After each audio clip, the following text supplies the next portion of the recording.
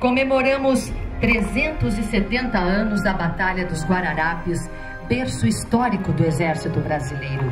Naquela oportunidade, o sentimento de nação fez brotar a sinergia necessária para derrotar os invasores estrangeiros.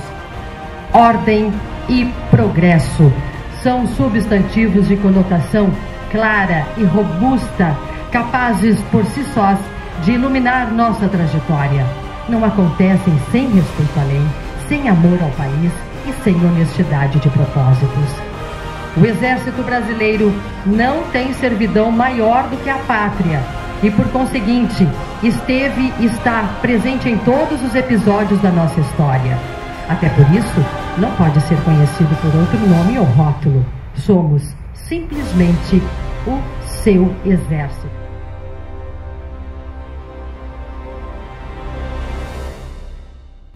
A comemoração do Dia do Exército marca um acontecimento, a Batalha de Guararapes, que aconteceu em 1648 em Pernambuco. O Comando Militar do Sul reuniu mais de mil militares para comemorar os 370 anos do Exército Brasileiro.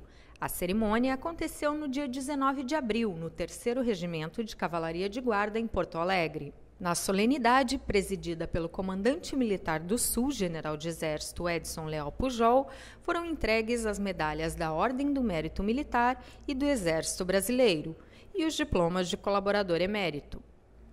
As homenagens são prestadas a personalidades civis e militares que realizaram relevantes serviços à Força Terrestre.